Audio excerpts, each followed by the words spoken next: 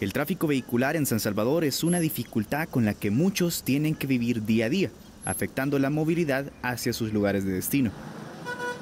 Definitivamente, es terrible. Sí, por supuesto.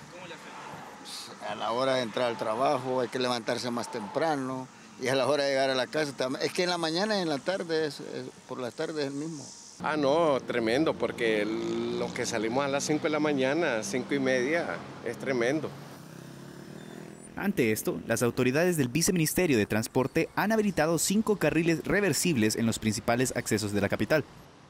Estos están ubicados en el Boulevard Constitución, en el municipio de Mexicanos, la Alameda Juan Pablo II, en San Salvador, en la carretera troncal del norte, en Apopa, la carretera de los Chorros, en La Libertad, y el Boulevard Venezuela, en San Salvador. Recordemos que toda la operación en todos los lugares en donde se está implementando necesita tener suficiente flexibilidad para acoplarse a las diferentes situaciones que se dan en la calle. Eh, la particularidad que nosotros tenemos en las operaciones es que en la calle ningún día va a ser igual al otro. la única constante va a ser el cambio. Entonces nosotros necesitamos acoplarnos a las diferentes situaciones que pueden presentarse. Estos carriles se habilitan en la madrugada en el sentido hacia la capital y alrededor de las 4 de la tarde estos se adaptan hacia la salida de San Salvador. Los automovilistas tienen diferentes opiniones ante esta implementación.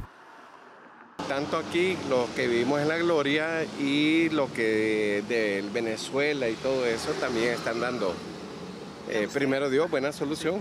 Bueno, eh, yo creo que lo van a empeorar, pero será algo que se va a tener que soportar durante, porque cuando esa obra quede determinada será lo máximo. Por ello, el viceministro de Transporte, Nelson Reyes, explica que la prioridad de paso se la dará a la arteria donde más vehículos estén transitando. Sí puede ser malo para otros. El detalle aquí está en que la mayoría sí se está beneficiando. Nosotros lo que buscamos es que el mayor flujo vehicular es el que sea desalojado más rápido. No quiere decir que estemos eh, eh, pues completamente dejando de lado el flujo vehicular de los otros sentidos, como vemos aquí, eh, es cuestión de irse acoplando y de ser lo, suficientemente flexible como para eh, pues poder modificar los planes y adaptarse a las situaciones que se van dando. Según el funcionario, estos carriles se han implementado para agilizar el tráfico en la capital. Esto tomando en cuenta que el parque vehicular en San Salvador para 2023 es de 56.167 vehículos. Daniela Ayala, TCS Noticias.